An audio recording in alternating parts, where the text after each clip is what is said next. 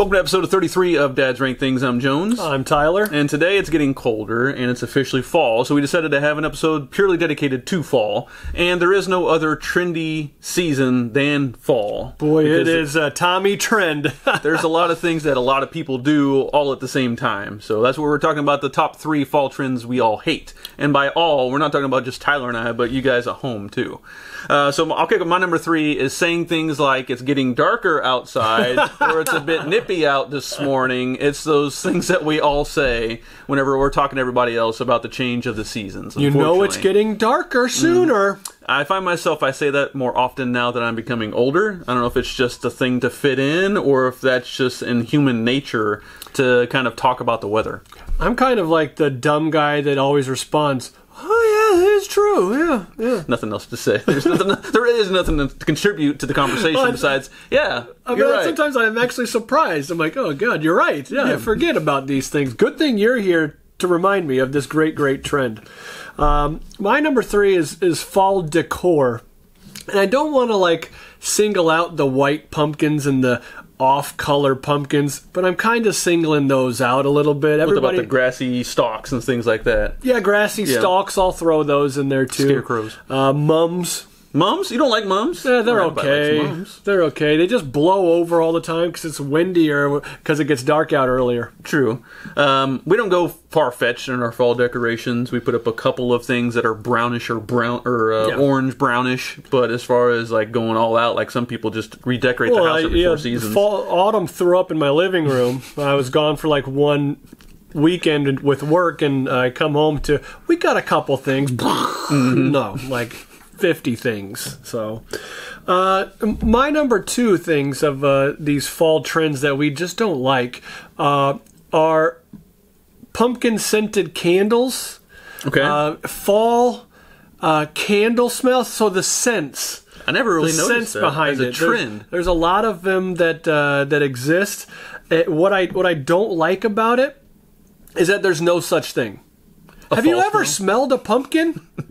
Put your head in the pumpkin and tell me I want my house to smell like that. You'll never say that. just okay? mush, just orange mush. And then like fall to me is like leaves burning, Yeah. uh, and fire, uh, Pollen. and, and pollen and dryness, and uh, that doesn't smell good. So like the fact that fall candles are a trend makes zero sense to me. That's true. And then I, I- before you said that, I didn't even realize that a, a candle thing is a fall thing. Yeah, Because you got the time. cinnamon and you got the oh, yeah. nutmeg Oh, and you got all, all these- different fall smells. Yeah.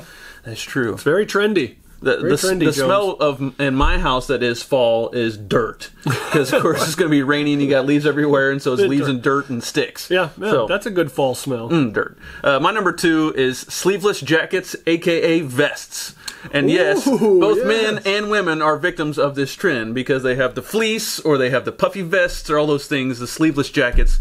Why? I mean, this serves no purpose whatsoever. You're saying your extremities don't get as cold as the rest of your body.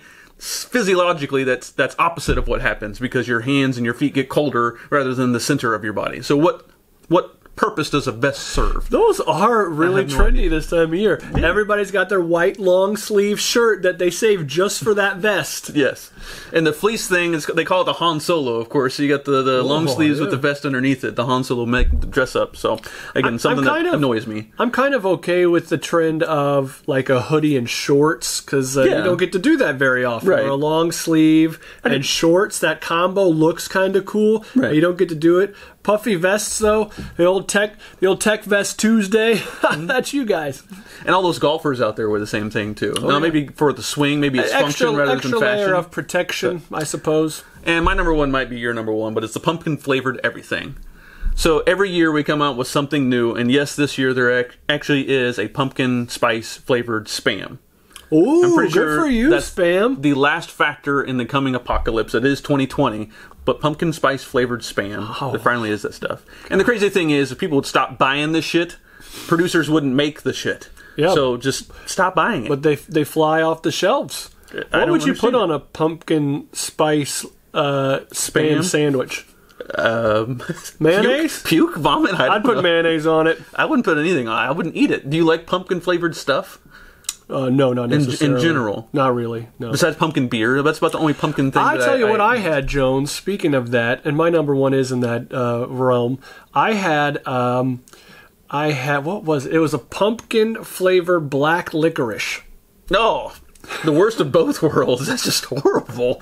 Black licorice is by far the worst candy there has ever been invented, and pumpkin spice everything is the worst fall trend. and they So, combined. and That's horrible. And they were salted. I felt like I was eating something that I I don't know I could like that I was doing drugs or something. like it was bad for me. it's bad, Um, very bad for you. I'll just I'll just really make mine simple. It's three words: pumpkin spice latte. Okay, so you're I, narrowing it I've, down. I've never had one. I never will because I hate the phrase. and so I, I did some research on it. Starbucks came up with this uh, phrase Mm-hmm. in 2003. That's when the this was introduced to us. And there's like a freaking history to it. Like 2015, pumpkin puree has been added to pumpkin spice latte. I don't even know what it is, but I hear people say it. And I'm like, uh, not talking to them. I don't understand the craze behind the pumpkin spice latte. I mean, I understand having a shamrock shake whenever it's St. Patrick's Day. Okay, okay. But the pumpkin I'm spice okay latte, with uh, why? pumpkin pie, but all these pumpkin flavors are based off of pumpkin pie, not pumpkin. Right. or pumpkin spice, whatever pumpkin Yeah. spice is. Yeah, it's pumpkin pie I, flavor. I will say, pumpkin spice latte is probably the most trendy thing there is in fall. Yep, that's why we It's hate the it. worst thing.